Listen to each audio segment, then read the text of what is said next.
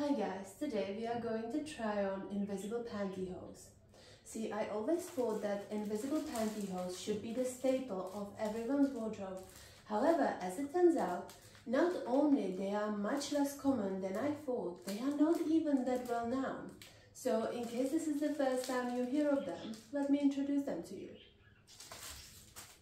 So first things first, what exactly are invisible pantyhose? Well, unlike traditional pantyhose, Invisible pantyhose are designed to give your legs a flawless, natural look. They provide light coverage and very natural sheen, making it seem like you're not wearing any hosiery at all. These pantyhose are perfect for those days when you want your legs to look smooth and evenly toned, without the obvious look of thickened nylons.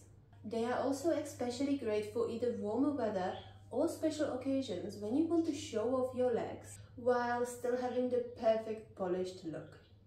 Alright, now let's take a look at my pantyhose from closer up and let's talk about different types of invisible hosiery. Not many people know that there are various thicknesses to invisible pantyhose. They come from about 5 den, den is what describes the thickness of the hosiery, all the way to 15 den. I'm going to show you 15 den you see they are still very sheer, however, they are much thicker than those I'm wearing. For an ultra sheer look, choose thickness of about 5 den all the way to 10 den. Now these are 8 because 5 den is rather hard to find and this is what 10 would look like. You see there is very little difference. Now let's talk about how to pick the right shape.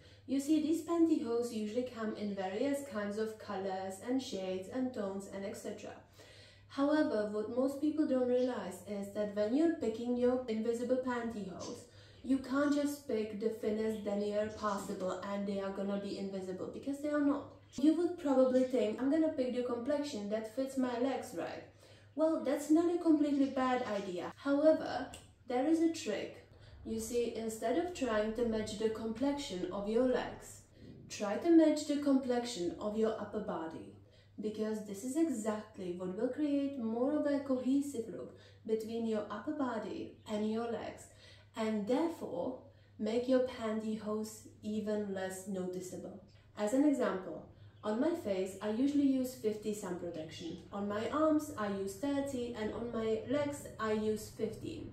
That makes my legs much more tan than the rest of my body. Now, if I matched nylons to my legs, it would be about this color. That would be a good match for the complexion of my legs. However, as you can tell, that's not a good match for the rest of my body.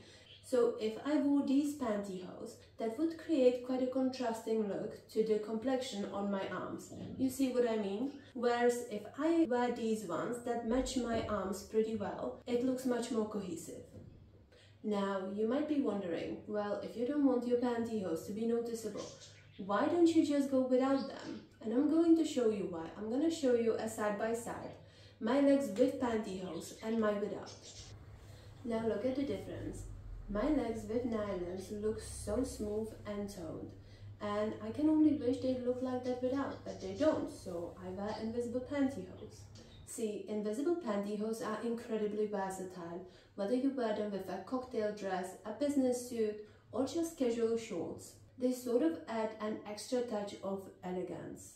Plus, many of them come with extra added benefits like moisture wicking and cooling properties, which makes them really comfortable to wear for all day long. However, as with everything, there are a few things you should watch out for. Firstly, only buy invisible pantyhose from reputable brands. As we have mentioned previously, invisible pantyhose are some of the thinnest on the market. And as thinner the pantyhose, that more delicate, and commonly more delicate means much more prone to tearing. So only buy reputable brands. Don't buy the cheapest of the cheapest. Pay just a little bit extra so they last you longer. Second, if you're uncertain whether your nails have any snags on them, wear gloves while you put them on. And third, if you can, size up. If you size up, there is simply going to be more fabric to work with and you are much less likely to overstretch them and tear them. Alright, guys, so now we have that and I think it's time for a stretch test. Alright, I'm going to compare them with my darker pantyhose from H&M. So let's start.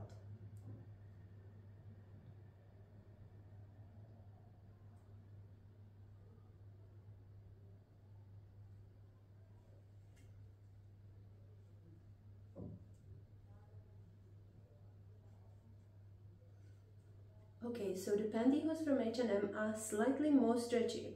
However, I am pleasantly surprised with my Calzedonia Invisible Pantyhose. And that is because I am always very hesitant when it comes to buying nylons that are less than 15 den. And that is simply because of how much more prone to tearing they are. And my usual experience is not very good. However, I have to admit that these pantyhose from Calzedonia are actually quite excellent. Anyway guys, whether you're a long-time fan of Invisible Pantyhose or whether you're a newbie, I hope you enjoyed the video and I hope you learned something new. See you tomorrow!